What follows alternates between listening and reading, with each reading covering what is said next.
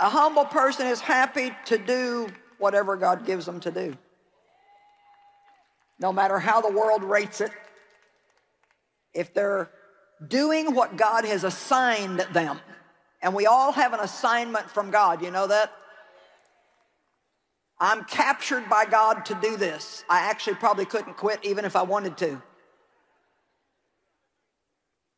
God assigns us certain things, and our fulfillment is found in fulfilling that assignment. And your assignment may be right now to raise three children. Your assignment may be to help somebody else fulfill their dream. We all have different assignments in life.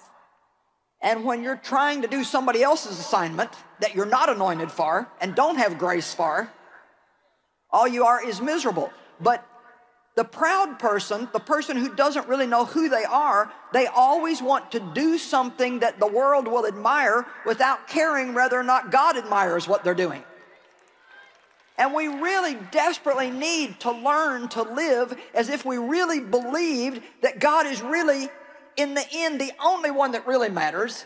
And He's watching us all the time, and we need to live before Him and unto Him and make sure that what we do is pleasing to Him. And if it's pleasing to Him, it doesn't really matter what anybody else thinks.